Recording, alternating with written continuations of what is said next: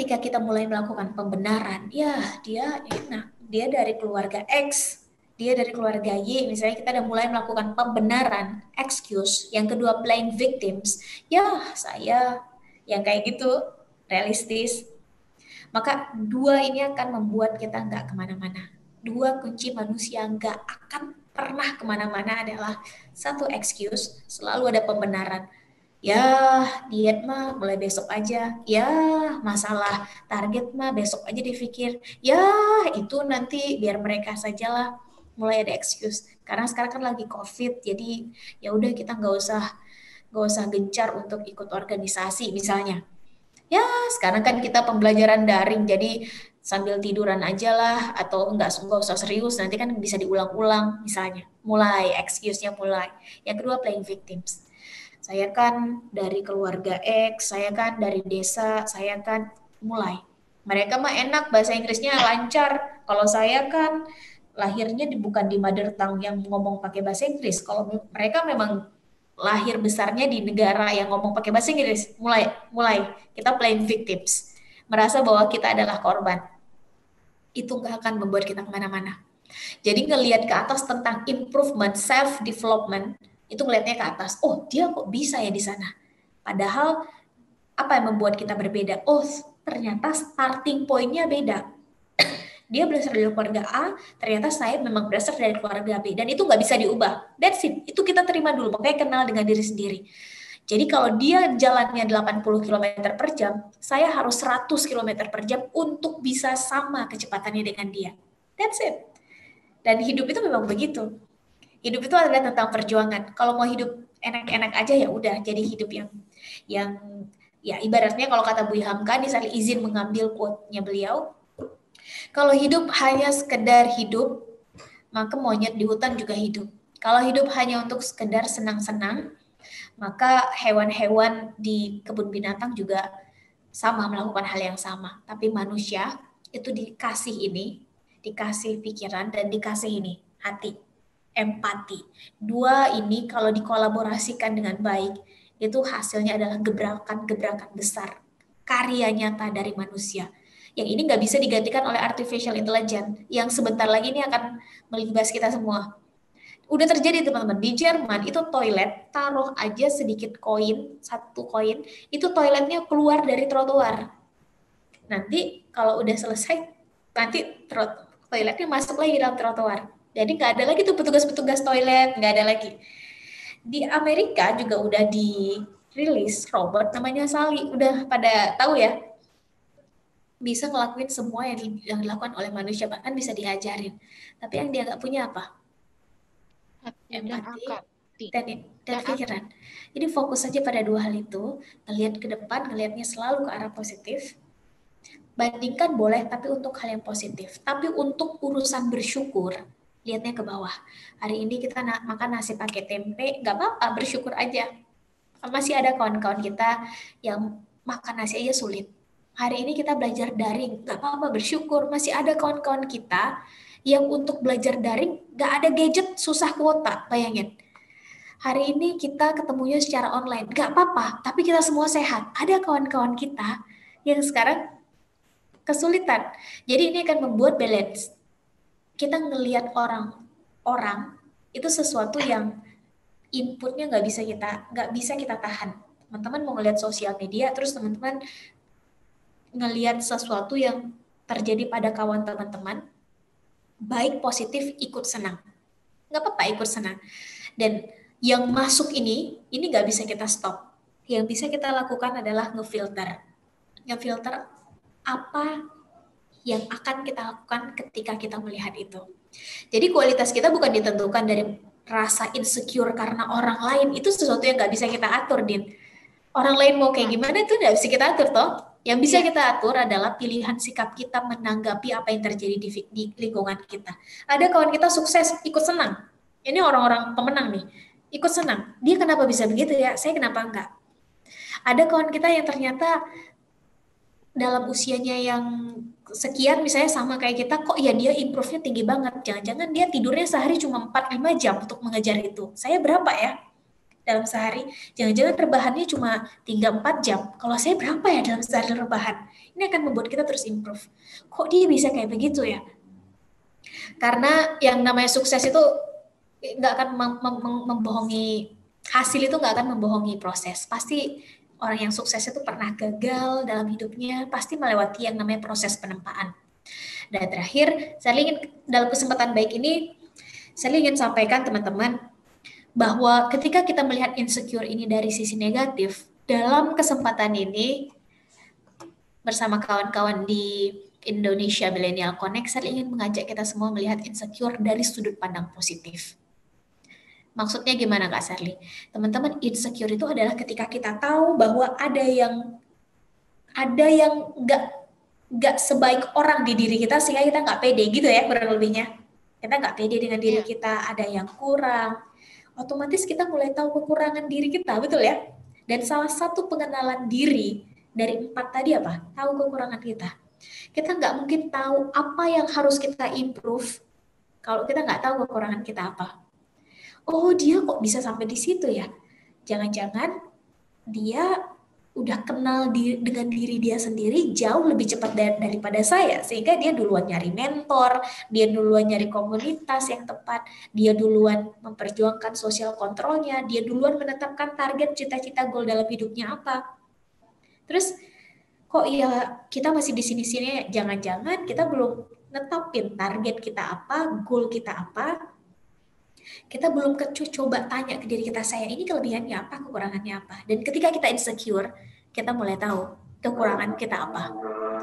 Apakah itu sesuatu yang harus segera kita improve karena sesuai dengan target dan cita-cita kita? Atau nggak ada hubungannya sama sekali? Misalnya nih kita pengen jadi penulis international bestseller misalnya. Kita pengen jadi penulis terkenal sedunia yang karyanya dibaca oleh seluruh dunia, bukan cuma di Indonesia. Maka apa ada hubungannya antara kecantikan dengan karya teman-teman sebagai seorang penulis? Tidak ada toh. Jadi gak usah bandingkan diri teman-teman dengan mereka yang memang menjadikan itu sebagai profesi, model misalnya.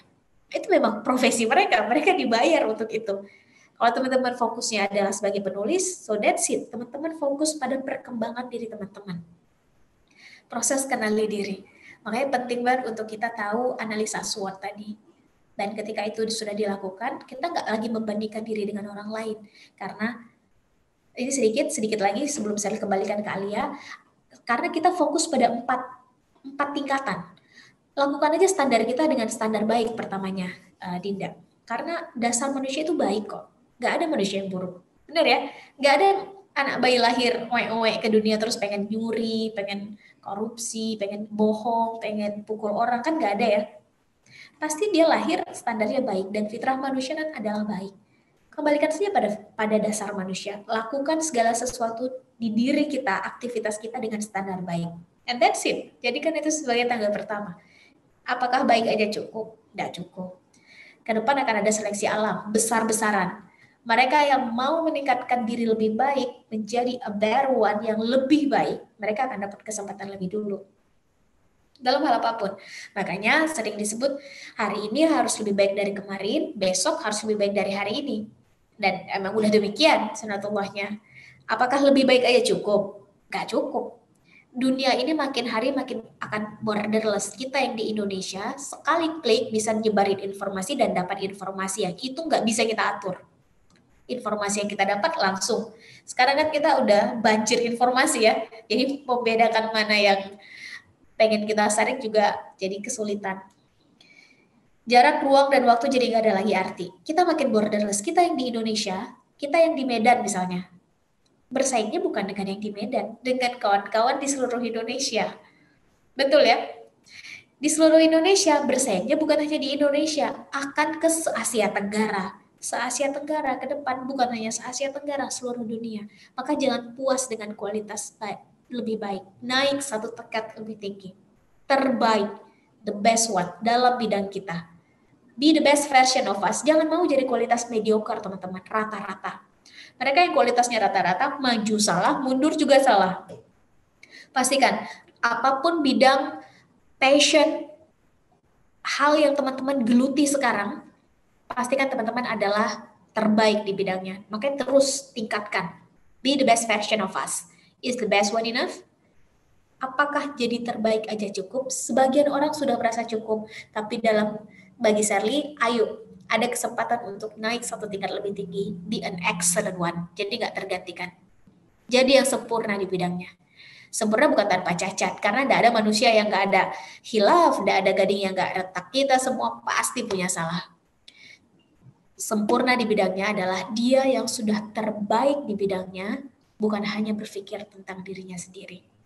Tapi dengan terbaiknya dia mampu mengajak orang-orang di sekitarnya untuk sama-sama menjadi lebih baik dan ini adalah tentang berbagi.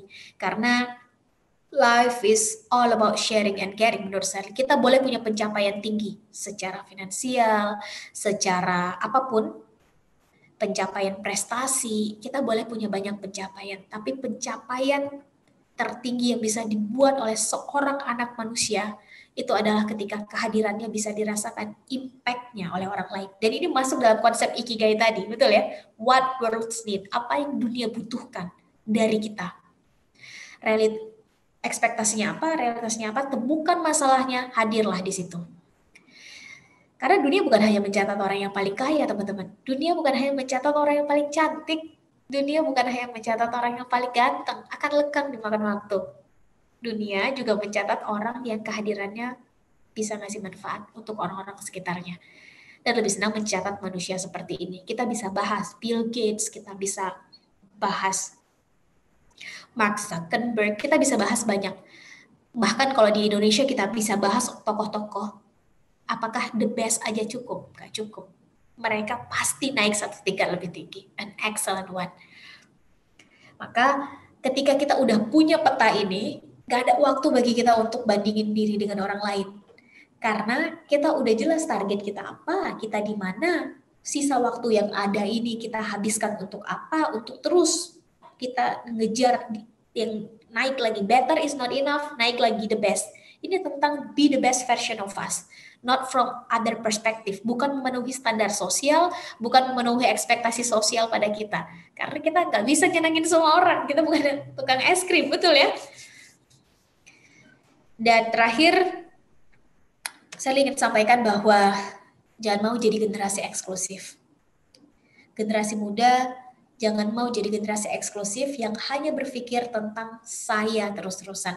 Saya, saya gimana, saya nanti setelah lulus mau kerja di mana, saya, saya, saya, saya nanti berapa setiap bulan masuk ke rekening saya, saya kekuasaan saya berapa seberapa besar nanti ketika di umur sekian, saya ketika tua saya seperti apa, saya saya terus nggak akan selesai-selesai. Kalau ada musuh terbesar manusia, itu adalah ketamakan dan egoisnya. Jadi teman-teman, kalau ada musuh terbesar yang bisa membuat teman-teman gagal meraih cita-cita, dua hal tadi. Rasa ego kita nggak selesai dengan ego kita sendiri dan rasa tamak mau lagi. Ada ada yang kawan lagi dapat apa kita mau lagi. Dan ini nggak akan pernah selesai. Ayo kita ganti kata saya menjadi kata kita. Gimana kita anak muda lima tahun ke depan gimana kita anak muda 9 tahun ke depan dan ketika kata saya diganti kata kita ini tentang kolaborasi bukan lagi tentang seberapa besar perubahan yang bisa kita buat tapi seberapa mau kita menjadi bagian dari perubahan karena kata kita mengharuskan kita semua terlibat, betul ya? Dengan profesi kita, dengan passion kita, dengan bidang kita, dengan apa pun yang sekarang kita kerjakan, kata kita mengharuskan kita terlibat. Karena sekarang bukan lagi zamannya kompetisi, sekarang zamannya kolaborasi. Dan demikian demikian, semoga menjawab pertanyaan Dinda. Aduh, luar biasa banget. Gimana Dinda? Luar biasa ya? Jawaban dari Kak Serli. Jadi kita bisa karena kita bersama, betul Kak Serli? Betul banget. Nah, Kak Sally, aku mau ngambil beberapa pertanyaan yang ada di YouTube. Nah, salah satunya ada pertanyaan unik nih dari Faros Givari. Bagaimana bagaimana sih mengubah passion suatu hoki? Pertanyaannya simpel, cuman gimana gitu? Bagi passion, mengubah passion jadi suatu hoki. Hoki keberuntungan. Hoki keberuntungan ya? Nah, terus ada beberapa pertanyaan yang mungkin udah saya baca dari awal sampai akhir itu pada umumnya mereka pada nanya gimana sih kak passion gimana sih minta dukungan dari keluarga, sedangkan keluarga menuntut passion itu hanya sebagai PNS saja, sedangkan kita passion passion kita bukan di sana. Jadi apakah kita ikut ke orang tua, keluarga, atau kita tetap berada pada passion kita? Oke. Okay. Oke, okay, ini menarik. Untuk pertanyaan pertama, nanti kita bisa bahas, tapi mungkin Sally perlu tahu dulu ini hoki maksudnya beruntung, keberuntungan. Apakah passion itu keberuntungan jadi standar beruntung itu kayak gimana apa kalau standarnya adalah profesi itu jelas kita dibayar ketika kita profesi saya adalah seorang youtuber ya berarti dia dibayar sebagai status dia seorang YouTube gitu ya profesi saya adalah saya seorang desainer dia dibayar atas itu dan itu adalah passion dia itu adalah hal yang dia sukai yang dia punya kecenderungan dalamnya that is what she or he love itu kurang lebih dan dia dibayar untuk sesuatu yang dia sukai. That's it. Nah, hoki ini apakah maksudnya adalah orang lain mau membayar? Itu mungkin saya agak agak sedikit butuh penjelasan dari penanyanya. Tapi saya izin masuk pertanyaan kedua dulu. Gimana ketika passion kita itu berbenturan dengan orang tua gitu ya. Orang tua misalnya pengennya jadi PNS, kalau sekarang ASN. Saya bukan bilang ASN nggak bagus, saya nggak bilang karena kehadiran mereka itu penting buat anak-anak muda hadir di dalam sistem itu penting banget. Tapi itu bukan satu-satunya cara untuk membuat perubahan. Ada banyak cara. Untuk kawan-kawan kita yang masuk, saya sangat hormat, saya sangat respect. Tapi ada banyak cara, bahkan dari luar. Kak, gimana ternyata kalau ini berbenturan dengan orang tua? Maka gini teman-teman, ini Sally sempat berada pada titik ini. Ada orang tua yang mendukung, ada yang enggak. Ketika enggak, maka tugas dan tanggung jawab kita sebagai anak itu adalah berbakti pada orang tua. Ketika yang kita sukai atau yang kita passion di dalamnya, kita senang, kita punya kecenderungan itu nggak sesuai dengan apa yang orang tua inginkan, ini tidak melepaskan tanggung jawab kita sebagai seorang anak yang harus berbakti, betul nggak? Passion ini tentang kecenderungan, what we love. Ini tentang perasaan, benar nggak? Tapi kalau berbakti ini tentang, tanggung jawab, kewajiban kita sebagai seorang anak.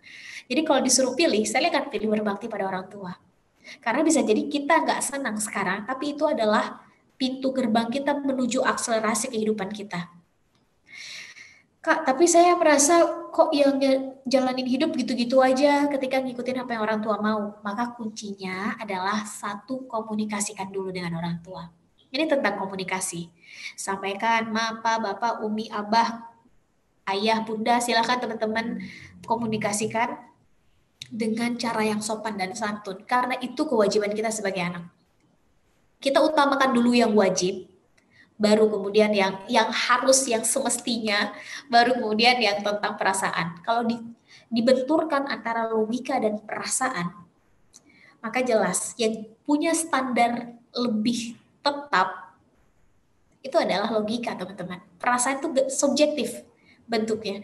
Jadi ya kadang-kadang ya, kadang-kadang nggak mood itu kan kadang-kadang muncul, kadang-kadang nggak betul ya. Passion kalau mau dijadikan sesuatu yang stabil dan standarnya jelas, maka dia harus gabung dengan profesi.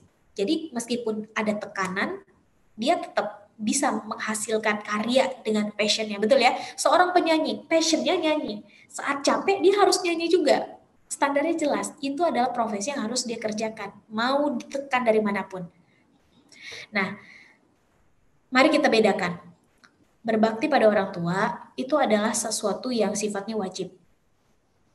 Sedangkan yang satu lagi itu sifatnya adalah rasa, perasaan dan namanya perasaan itu bisa dikontrol. Ketika ini dibenturkan, maka jelas kalau Sally pribadi, Sally akan memenangkan yang ini berbakti pada orang tua. Ini logika, ini tentang sesuatu yang sifatnya pakem.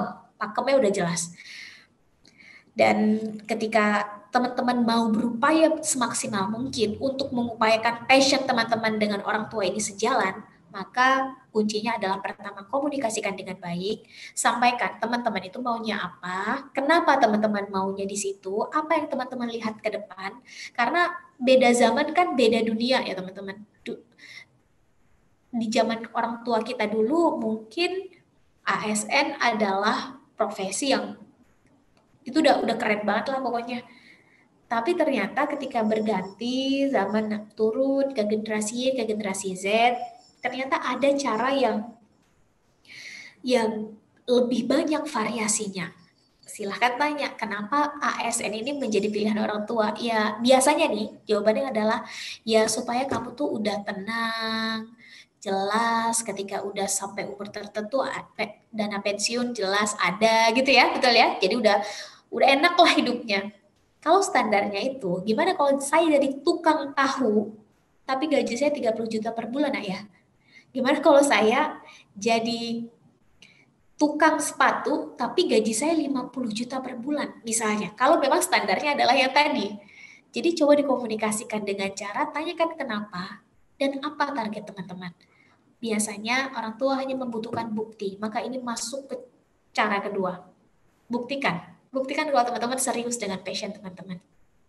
Karena ya namanya kita anak, secara pengalaman kita kurang. Namanya orang tua. Orang tua lebihnya apa? Pengalaman. Betul ya? Pengalaman hidup mereka lebih panjang, mereka sudah lebih banyak melewati asam garam kehidupan. Maka yang mereka butuhkan adalah bukti. Buktikan bahwa teman-teman serius dengan passion teman-teman.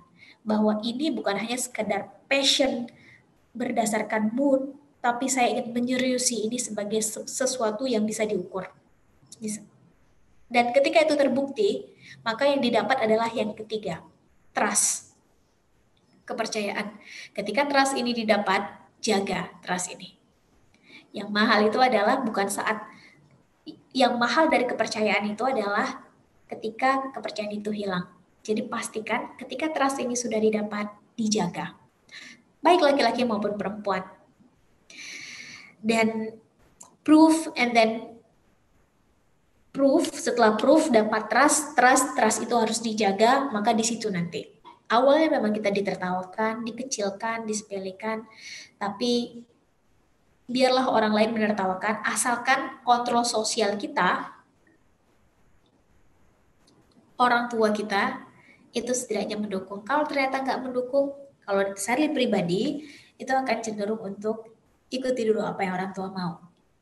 Karena kita punya passion yang berbeda, bisa jadi kita nggak suka pada satu hal, tapi ternyata itulah yang terbaik buat kita. Bisa jadi kita suka pada satu hal, tapi ternyata bukan itu yang terbaik pada kita. Karena suka nggak sukanya adalah tentang perasaan, dan perasaan itu bisa dikontrol. Beda dengan sesuatu yang sifatnya kesemestian dan keseharusan. Saya pikir kayak begitu, tapi sebelum bicara tentang ya takdirnya kan kita sebagai anak, sebelum ngomong takdir, kita usaha dulu maksimal. Kita doa dulu maksimal. Karena kalau ada yang nanya di mana letak ujungnya takdir, maka habis kegiatan seminar ini, teman-teman udah bisa jawab. Letak ujungnya takdir itu adalah di batas maksimalnya usaha dan doa teman-teman. Jadi ketika udah usaha maksimal, meyakinkan orang tua dengan maksimal, teman-teman udah berusaha untuk membuktikan hasilnya bagus, dapat kepercayaan tapi orang tua tetap tidak mengizinkan ya gak apa-apa ikuti aja. Jangan-jangan itu adalah gerbang teman-teman untuk meloncat lebih tinggi. Jangan malu untuk mundur dulu teman-teman. Jangan malu. Bisa jadi teman-teman mundur itu adalah untuk bersiap melompat lebih tinggi. Jangan malu untuk terlihat kecil terlebih dahulu karena untuk melewati jurang teman-teman itu harus mundur dulu untuk nyiapin kuda-kuda. Dan bisa jadi kita tidak menalar sampai ke sana tapi ternyata orang tua dan Tuhan yang Maha Kuasa udah menyiapkan itu. Yang jelas upayakan dulu maksimal, hasil tidak akan membohongi prosesnya. Saya pikir demikian. Semoga menjawab pertanyaan tadi.